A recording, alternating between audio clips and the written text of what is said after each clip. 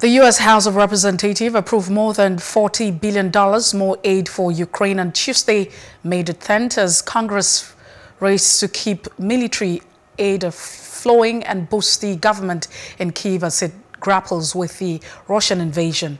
The House passed the Ukraine spending bill by 368 to 57 with every no vote coming from Republicans. The measure now heads to the Senate, which is expected to act quickly.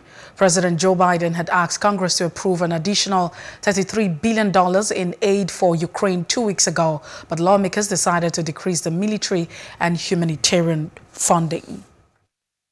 What I think it's important for the American people to know is that what Putin has done is not only an act of brutality, it's an act of cowardice.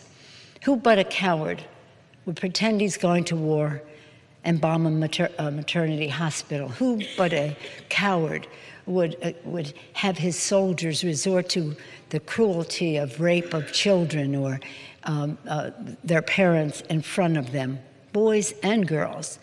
Who but a coward would pile these children in trains and take them to Russia? All of this will be a matter of, a, of, of coming to justice at some point. But right now, we have to have it come to a conclusion that you don't do that. It's outside the circle of civilized human behavior. Putin, coward. So, in any event, what we're doing here is very important supplying weaponry and security assistance, government and economic assistance, humanitarian assistance, and I thank Congresswoman Lee and Mr. McGovern for their uh, focus on all of that.